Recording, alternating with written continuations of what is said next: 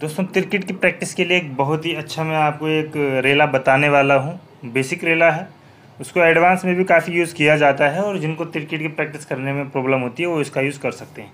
तो देखिए, सिंपल है। धा, तेर, केट, ताक ताक, तेर, केट, ताक ताक, तेर, केट, ताक ताक, तेर, केट, ताक। ठीक है? धा, तेर, केट